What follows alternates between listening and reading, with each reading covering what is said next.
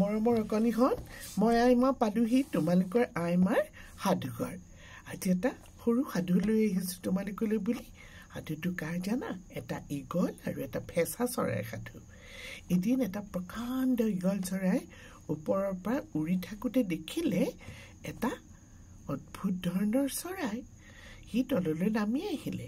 আহি চৰাইটো চাবলৈ ধৰিলে। চৰাইটোক সুধিলে হেৰা তোমাৰ নামটোনো কি? চৰাইটোৱে ক'লে মোৰ নাম ফেঁচা। অঁ? তুমি দেখোন দেখিবলৈ গোটেই নোমেৰে ভৰা। তোমাৰ চকুকেইটাৰ বাহিৰেতো মই আন একো দেখা নাই। কিয়নো তোমাৰ নাম দিলে ফেঁচা?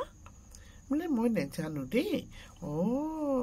তোমাক আৰু নাকটো যদি দি দিলেহেঁতেন তেতিয়াতো তুমি আৰু গপতে উফন্দি থাকিলাহেঁতেন। এনেই ইমান ধুনীয়া। তাতে নাক থকা হ'লে তোমাক আৰু ধুনীয়া দেখিলেহেঁতেন। ফেঁচাটোৱে তেতিয়া মুখেৰে একো নেমাতিলে। অলপ পিছতে কি হ'ল জানা? এই ফেঁচাটোৰ কাষ চাপি চাপি আহি আছিলে এই গলটো। ভাবিলে যে ইয়াক এনেকে কৈ কৈ মই খাই পেলাম। এনেকে ওচৰ চাপি আহি থাকোঁতেই বেচেৰা ইগলটো এটা চিকাৰীৰ জালত সাঙুৰ খাই পৰিল।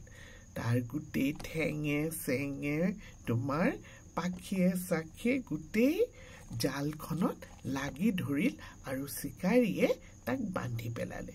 তেতিয়া ফেঁচাটোৱে ক'লে শুনা ইগল কাইটি তুমি যে এই চিকাৰীৰ এটা ভেড়া ছাগলী চুৰ কৰি খাইছিলা এদিন থপিয়াই পেলাই তাৰ বাবেই তেওঁ জালখন পাতি থৈছিলে।